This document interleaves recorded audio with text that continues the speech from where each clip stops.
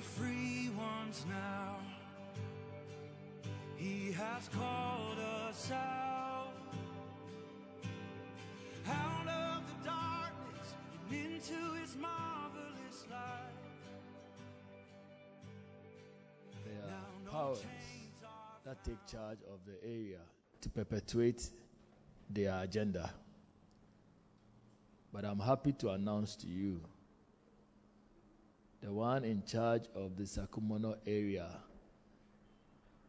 is submitted fully to us. Amen. The powers there be are submitted what? Fully to us. Amen. And you will see the effect because it means that in this land, in the land of Tema, God will prosper his work. Amen. God will prosper his work in GTC. Amen. And you see, sometimes we lose sight of the fact that it takes individuals to make a movement. Amen. If God is prospering GTC, it's because your life will be prospering. Amen. Who, who, who is GTC? It's a collection of the people. Amen. So, if God is making room for GTC, as long as you are under the umbrella of GTC, things will make room for you. Amen. Because the authority over your life has paved the way for things to happen. Amen. I remember after we had dealt with the powers of Tema, one night the Lord led me to pray on the streets around Community 20 where we were fellowshipping. That night, it was a Saturday night into a Sunday. And I prayed around Community 20, walking in the middle of the street.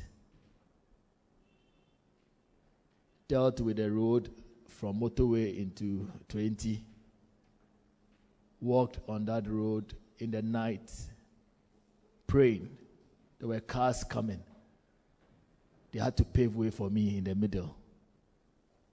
The two that attempted to come on me were displaced by the force of God with me. And right after that, I knew that the territorial power over Community 20 was dealt with. It was that night that God pointed this place. Right after that, He pointed this place. And tonight, I told you some time ago, I was in the office praying. No, I think I was just lying down. And then I saw three witches in charge of this area. And tonight, whilst I was praying, I dealt with them. And they ran away like that. Amen. And I knew that we are done. Amen. Amen. ah, we thank God for victory. Amen. Amen. We thank God for victory. So He's made room for us and we will prosper. Amen. Amen. I see your prosperity breaking forth. Amen. And uh, this morning I was remembered of, a, of the first scripture God spoke to me. Isaiah 45, verse 3. In fact, when I learned to hear God, I was in Unity Hall Chapel praying. And I, I, I, I was told that after you pray, you wait for a while to hear what God will say to you. So I finished praying and I was on the bench that, that day. Lord, what are you saying? And whilst there, I heard Isaiah 45, verse 3. And I went to the scripture. It's been with me forever. This morning, I, I, I was remembered of it. He says, I will give you the hidden treasures, riches stashed away in secret places, so you may recognize that I am the Lord, the one who calls you by name, the God of Israel. Amen.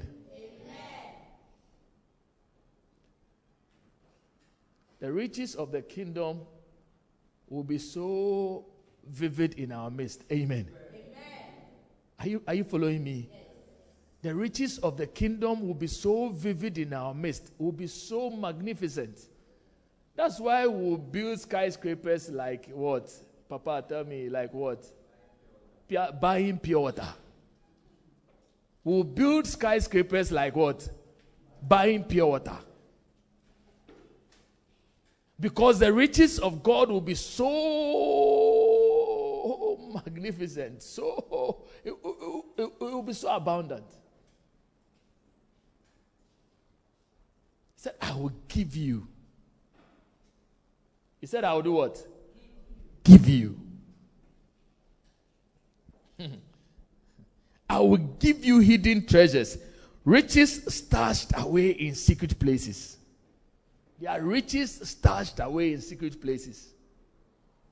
And He will give it to us. And we will display our dominion and riches by that. Amen. I see your portion coming to you in the name of Jesus. Your portion will not be denied you in the name of Jesus Christ.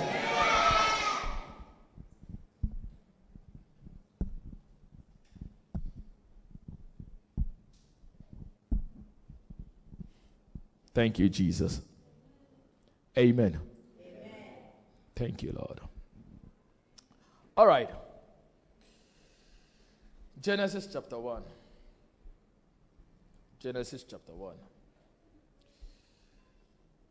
In Genesis chapter 1, verse 27, please follow me this morning.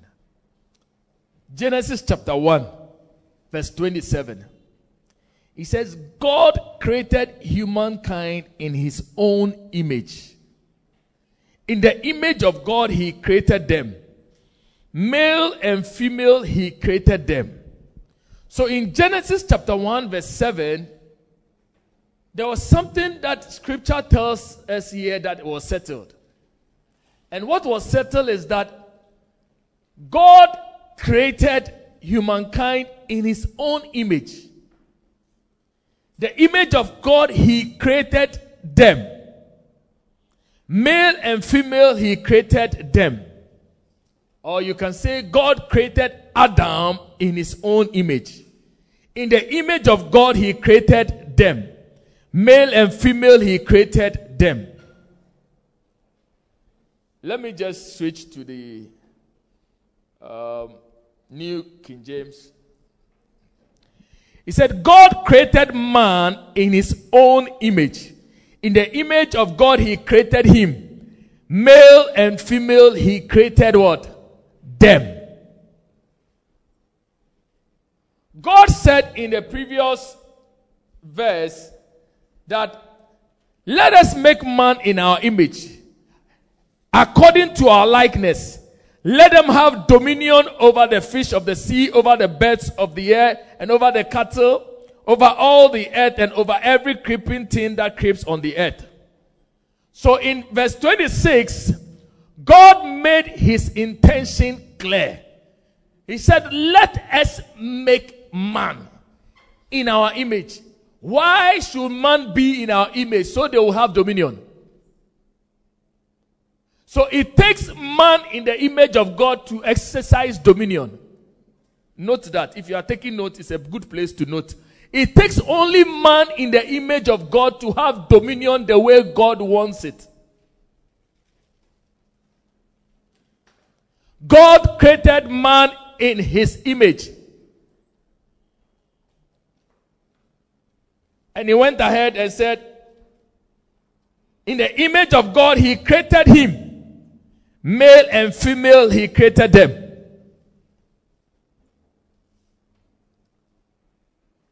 Yet, when we move to chapter 2, verse 7,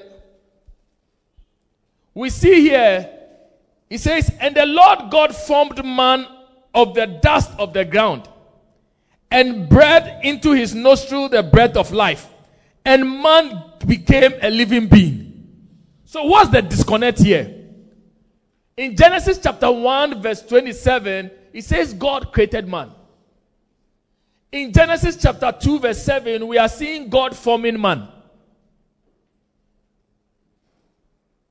What's the disconnect? Genesis 1 27 says, He created man in his own image and went ahead and created male and female. But we see here in Genesis chapter 2 that God now comes and formed man out of the dust of the earth. So he took the dust of the earth and then he formed man. He took the dust of the earth and formed man and breathed into man the breath of life, and man became a living being. So man became an active being on earth. So, what was the first man then? Let me just move forward. Ah, okay. It says, Forever, O Lord, thy word is what? It's what? Settled where? God's word is settled. When God speaks, that word is a settled word. When he said, Let us make man in our own image and after our likeness, that word he produced, he had made man. That was why verse 27 went ahead to say that God made man in his image. Because by the word that he spoke, he had made man. Amen. Amen. Amen. Are you following me? Are you following me? By the word he spoke. Mind you, if you go to Genesis 1, you see that God came on the scene to speak words to make things. So the order of Genesis 1 was an order of word producing things. Are, are you following me? Are you following me? Let, let's go back and then Oh, Jesus, sweet Jesus, thank you for truth. So, Genesis 1, verse 1. In the beginning, God created the heavens and the earth. The earth was without form and void, and darkness was on the face of the deep. And the Spirit of God was hovering over the face of the waters. Then God said, Let there be light. What did God say? He spoke the word, Let there be light. And what happened? And there was light. So, by the word he released, there was a manifestation. The same thing. Verse 3. Sorry, verse 4. And God saw the light that it was good. And God divided the light from, from the darkness. God called the light day and called the darkness, he called night. So evening and morning were the first day. Verse 6. Then God said, let there be firmament in the midst of the waters, and let it divide the waters from the waters. Thus God made the firmament. So what God said, God saw. Amen. So when you use the same principle and go to 26 and 27, when God said, Let us make man in our image according to our likeness, 27 comes to say, So God created. Amen. As he spoke the word, the word manifested. If you care to know, that is why John chapter 1 says that in the beginning was the word, and the word was with God. And the word has the image of God. And the word became flesh. Don't worry. The message will be there recorded. You can visit it. But as we progress, you will understand more. So, God, by His word, had created man in His image and in His likeness. God has a particular nature, and He has created man after that nature. But here we see man formed, man formed and given a living being status on earth. Let's go to Genesis 3. You will then understand why the work of Jesus by the blood is so critical because he needed to restore us to that order. My Father, thank you. So Genesis chapter 3. Okay, let me start from let me start from down and then we'll come up. Okay. Verse 22, Genesis chapter 3, verse 22. Are you following me, please? Genesis chapter 3, verse 22. It says, And the Lord God said, Now the man has become like one of us. The man God formed. The man God formed. He's saying that now the man I formed has become like one of us. So it means that the man he formed wasn't like him. Amen. But he's saying that now the man has become like one of us. But he went forward to specify what he meant by one of us. Because you know, God is a spirit. Is that not it? God is a what? John chapter 4, verse 24. God is a spirit. God is a spirit. So if he's making somebody in his image, that person will be in his spirit. Amen. Because you can't be a spirit and make your image something else. If I want the image of Mayfair, eh, can I take, what's your name, my, my, my, my friend? Titi. Can I take the Titi as the image of Mayfair? Is it possible? So, Titi, sit down. Mayfair, sit down. Thank you. So, if God says, I'm making man in my image, then he has to be his image. If God is a spirit, then man must be spirit. Amen. So here he's saying that now man is become like one of us. So it means that he was now speaking to spirit nature. Man is become like one of us, and he went ahead to specify the kind of spirit nature he's talking about. And he said, Man is become like one of us, knowing what? Good and what? Evil. Because you see, when God formed man, he put two trees in the garden. I'm sure those of you, if you go to Bible uh, Sunday school, they teach that. God put two trees in the garden the tree of knowledge of good and evil, and then the tree of life. They were available. And he told man specifically, do not eat of the tree of knowledge of good and evil. But he didn't stop man from eating from life. He gave man a strict instruction don't eat of knowledge of good and evil. But man went ahead to eat knowledge of good and evil. And we see that when man did that, he started gaining knowledge of good and evil. That spirit force in him started giving him the ability to see things differently. So it was then that God came and said that man is become like one of us, knowing good and evil. And please, let's go ahead. You get something beautiful here. He must not be allowed to stretch out his hand and take also from the tree of life and eat and live forever. So the tree of life was available to man, but man went and took of knowledge of good and evil. So man was kept from life. But we will see something here and we'll know, we'll understand what then is the nature of God. Is the nature of God good and evil or life? Because the beauty of it is that when God spoke, that let us make man in our image and after our likeness. And 27 said, man was made or was created. I'll come to this later. Let me not take the equation to quadratic level. Let me maintain it in algebraic equation. Then when we finish algebraic equation, we can come to quadratic equations. Amen. so here we see that God said man is become like one of us, knowing good and evil. Let's keep him away from life. And I'm saying that then what is the nature of God? Let's go to John chapter 5, verse John chapter 5, verse 26. John 5, 26. Listen to this. Jesus was saying something here. John 5, 26. Are you following me? Are you following me? John 5, 26. He said, For just as the Father has life in himself, what do the Father have? Life.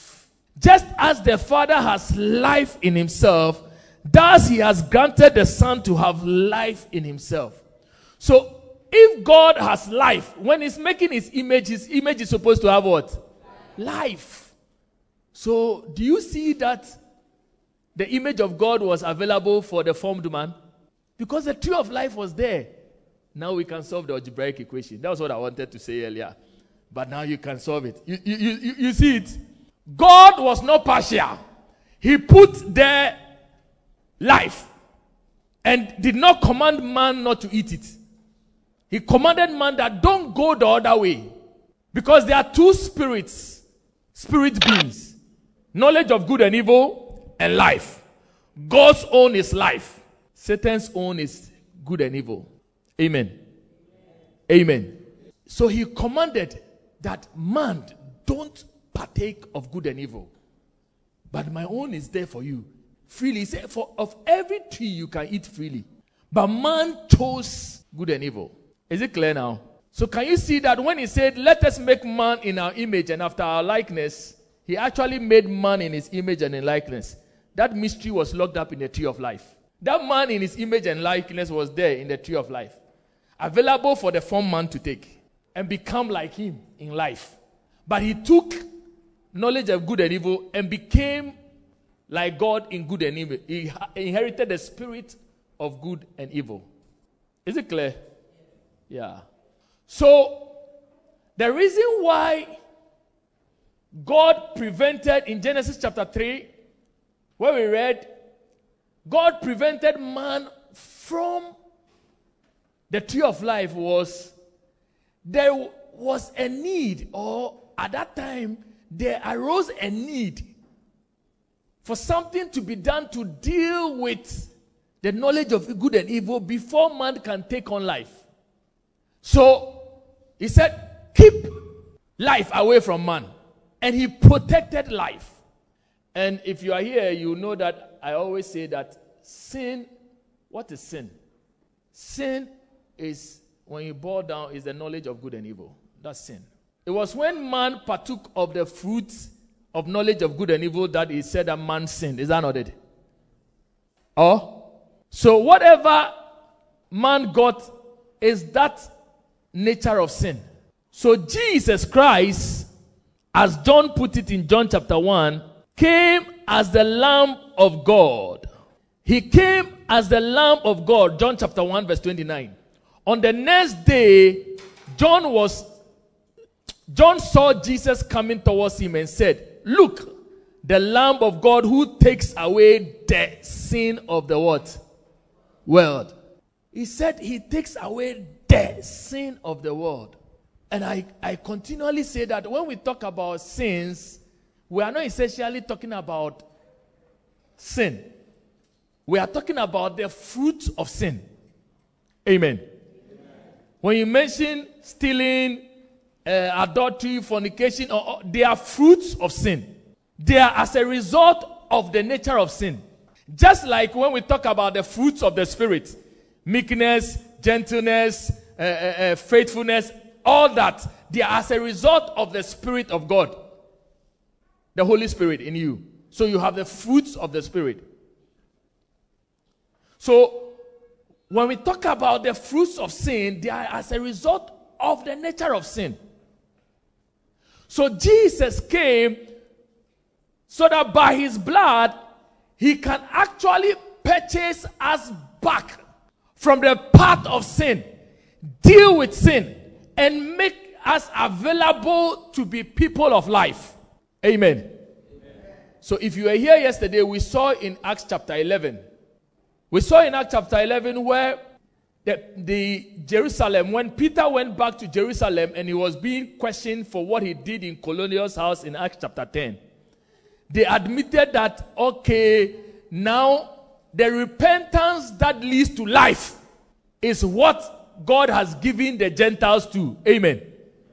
The repentance that leads to what? Life. Jesus came that when we repent by his blood, he knocks off sin. And we are able to now take on life, which is God's nature. That is why he says that in, in 2 Corinthians chapter 5, verse 17, if anyone be in Christ, he is a what? A new creature. all things have passed away. He said they have passed away. Why are you still making it present? All things have passed away. Behold, all things have become what? New. The old thing that was controlling the formed man was the man of sin, the spirit of sin that was in him. But when you believe Jesus and receive the work he did by his blood, he deals with the old one, takes away the sin of the earth. It is taken away from your life and makes you available to now receive his nature, which is life. That's why the blood of Jesus and the work of the cross is very important. That's why I, I said yesterday when you repent according to Jesus' order, you are saved. What are you saved from? You are saved from the man of sin, the nature of sin. You are no more a slave to the nature of sin. You are no more a slave to the nature of sin. You are saved from that nature. The spirit of sin that rules in your members is dealt with, is taken off, so that you can now inherit the spirit of life and live like God on earth. Amen. You no more become a mere human being. That's why he calls you a new creature. So, like the first formed man took on sin and started a race, Jesus came to also start another race. That is why we are new creatures when we are in Him. We are no more the old, we are new. So, the blood of Jesus is the cost that the father paid to make sure that he can restore the sons or the children back to his order as he desired in the beginning. Can I say something here? So, the moment you receive Jesus as your Lord and personal Savior, when you receive Jesus as your Lord and personal Savior, you are taken back. Redo, follow me, please. You are taken back from where Adam has plunged the world into, or humankind into, you are taken back and restored to Eden. You now have a privilege to be in Eden back. Now is for you to decide whether you will take a decision and by the Spirit be a partaker of life or go back into good and evil. I hope that is not a level. Every one that believes in Jesus is saved. That is why he says, You are taken from the kingdom of darkness and you are translated into the kingdom of his dear son, where life is available. Will you be a partaker of life? Or you want to be in, in the old na- nature? That is why the Holy Ghost is very important. In Ephesians 1, he teaches us that when we're purchased, we were sealed with the Holy Ghost of promise so that by the Holy Ghost we can walk in our inheritance of life and all that pertains to life. So Peter put it according to his divine power, he had given us all things that pertain unto what? Life and what? Godliness. Second Peter 1 3. Who is the divine power? The Holy Ghost. That is why I kept saying throughout the week that you cannot be a Christian without the Holy Ghost. For you to be a Christian, you must of necessity have the Holy Ghost. And yesterday we saw it in Acts chapter 11. The first place they were called Christians was in Antioch. Why? Because Holy Ghost was in action.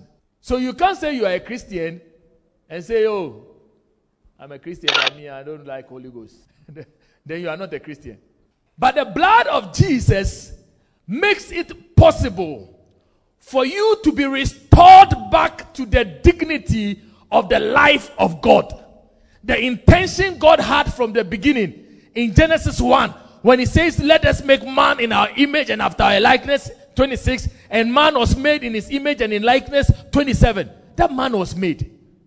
But the man was made to be revealed in a body because that man was in the image of God and is a spirit. He was made to be revealed well In a body. So God came to form the body and gave sustenance to the body and said, Body, you are free to take the spirit. Choose which spirit you want. And the body chose another one. And he said, Ah, this one will bring you trouble. Oh. Okay, you let me put you aside. Keep the way of the one that I wanted you to actually, I gave you permission to. You didn't. But let me keep it to be revealed in a time to make way for you and I to be partakers of life. Are you following it? Are you following it? Are you following it? So, the essence of Christianity is to make you partakers of life, the image of God, the life of God. That is why John 3:16 says, "For God so loved the world that he gave his only begotten son, that whosoever believes in him should not perish but what? Have eternal life or everlasting life." That life there, the Greek word is zoe, is different from the other life words in Greek. Because that Zoe means the very life of God, the kind of life that God has. Let's not reduce Christianity to shaping mere mortals. Christianity is a revelation of immortals. It's a revelation of people after the order of God, people in the image of God.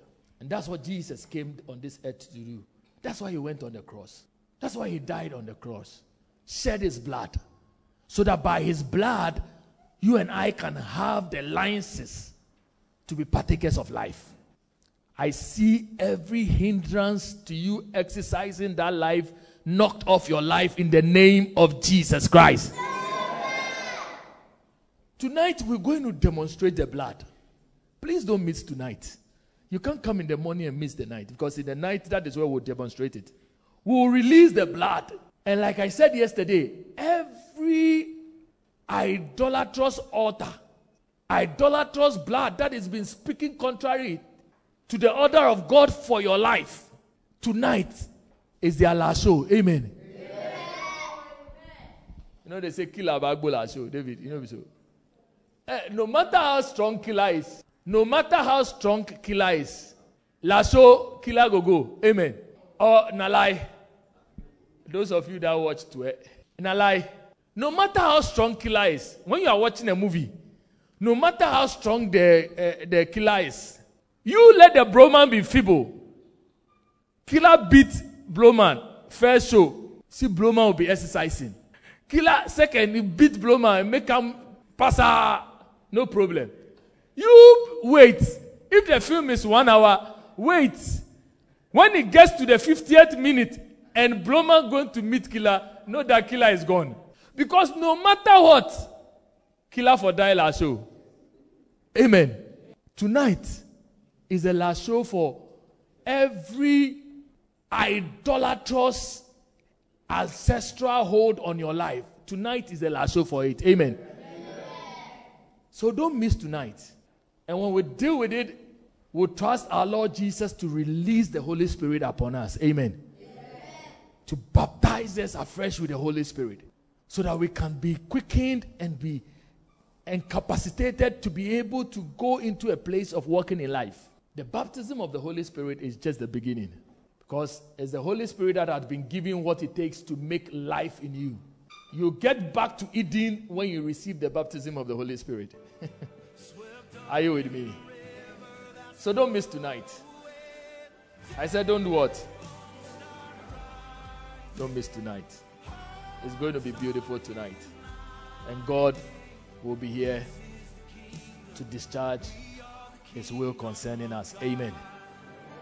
Amen. Good. we can't be stopped. This is a move